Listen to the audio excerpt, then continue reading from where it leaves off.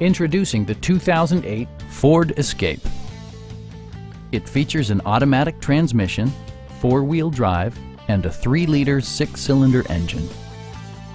This model accommodates five passengers comfortably and provides features such as front and rear cup holders, a tachometer, rear wipers, and air conditioning.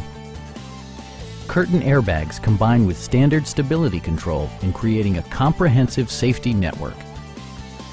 Please don't hesitate to give us a call